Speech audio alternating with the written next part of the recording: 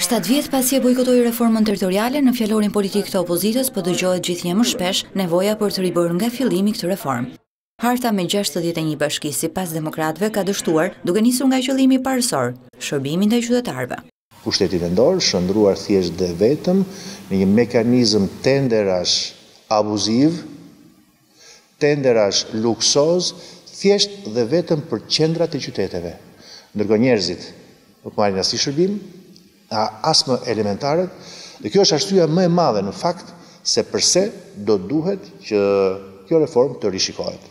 Sipas Alibeajt, krejt ndryshe nga sa u premtua në vitin dy mijë e katërmbëdhjetë, sot shpenzimet financiare të bashkive janë rritur, e po ashtu është rritur numri i punonjësve të tyre. Bashkitë sot janë shndërruar në depozita punësimesh të militantëve të partisë në pushtet, qëllimi i cili është thjesht për t'u përdorur pastaj si reparte elektorale në proceset zgjedhore.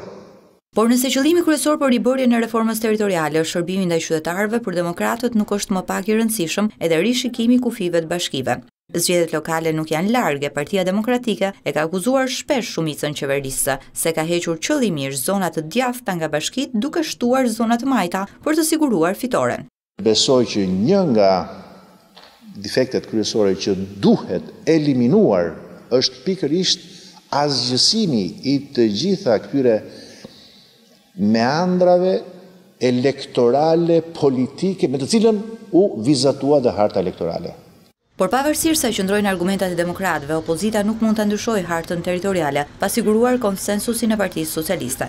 Dhe klima politike nuk duket e favorshme për një kompromis mes Ramës e Bashës, qoftë edhe për reformën territoriale, për shkak të akuzave që vijnë brenda PD-së për një marrëveshje të fshehtë mes tyre.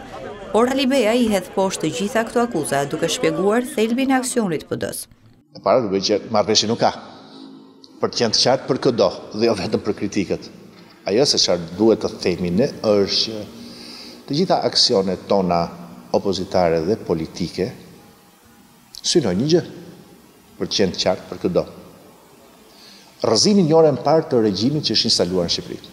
Pas një viti e gjysmë në Shqipëri do të mbahen zgjedhjet për pushtetin vendor e kjo nuk do të jetë një garë e lehtë për Partinë Demokratike.